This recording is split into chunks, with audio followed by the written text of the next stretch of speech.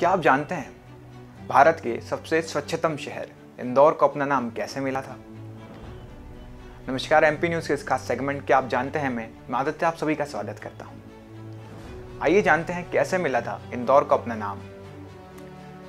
माना जाता है कि आठवीं शताब्दी में इंदौर पर अपना अधिकार जमाने के लिए बंगाल के पालो, मध्य के प्रतिहारों और दक्षिण के राजपूतों के बीच में त्रिकोणीय संघर्ष चला था।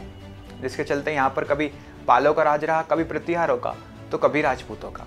ऐसे में फिर वह समय आया जब राजकोट के राजपूत राजा इंद्र तृतीय ने इस त्रिकोणीय संघर्ष में जीत दर्ज की और इस जीत को यादगार बनाने के लिए उन्होंने यहाँ पर एक शिवालय की स्थापना की, जिसका नाम इंद्रेश्वर रखा गया।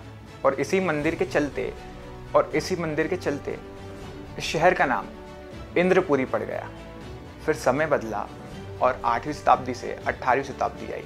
अब इंद्रपुरी इंदौर बन चुका था, क्योंकि अब यहाँ मराठों का राजवंश था और मराठी उच्चारण के चलते इंद्रपुरी इंदौर बन चुका था। फिर समय ने पुनः करवट ली और भारत में अंग्रेज़ों ने अपनी हुकूमत जमा ली और अंग्रेज़ी हुकूमत के साथ ही इंदौर को अपना मौजूदा नाम भी मिला। क्योंकि अंग्रेज़ जब भी इंदौर बोलने की कोशिश करते थे तो उनकी ज़ुबान से इंदौर निकलता था। जो कि देखते ही देखते इंदौर में बदल गया। क्या आप जानते हैं कि इस एपिसोड में बस इतना ही? और भी रोचक बातें जानने के लिए देखते रहिए एमपी न्यूज़